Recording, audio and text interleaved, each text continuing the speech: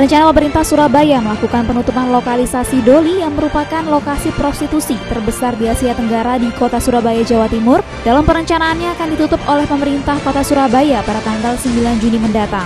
Hal ini akan menjadi perhatian pemerintah kota Mataram sebagai salah satu daerah tujuan wisata. Jadi kekhawatiran akan masuknya para pekerja seks komersial atau PSK ke sejumlah daerah termasuk kota Mataram. Dalam hal ini pemerintah Kota Mataram akan melakukan langkah antisipasi dengan menggencarkan sidak dan pemantauan di lapangan. Hal ini diakui oleh Kadisos Naker Trans Kota Mataram Ahsanul Halik, bahkan pihaknya akan melakukan pengawasan intens ke beberapa usaha yang diduga menjadi lokasi masuknya para PSK seperti salon dan spa. Dari Doli ini tidak menutup kemungkinan karena dari analisis yang kita lakukan salah satu pelarian mereka nanti adalah Kota Mataram hmm. dan Bali. Eh? Nah, antisipasinya di Kota Mataram ini maka eh, semua pengawas tenaga kerja yang ada di Dinas Sosial Tenaga Kerja dan Transmigrasi kita perintahkan untuk melakukan pengawasan terhadap salon-salon yang ada di Kota Mataram.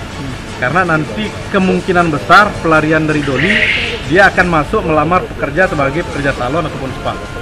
Hal ini menjadi perhatian pemerintah Kota Mataram mengingat permasalahan prostitusi menjadi fokus pemerintah Kota Mataram dengan melakukan razia di sejumlah tempat hiburan malam. Selain itu, kekhawatiran mendasar dari masuknya para PSK pada dampak penularan penyakit HIV AIDS. Ridwan TV 9, Mataram.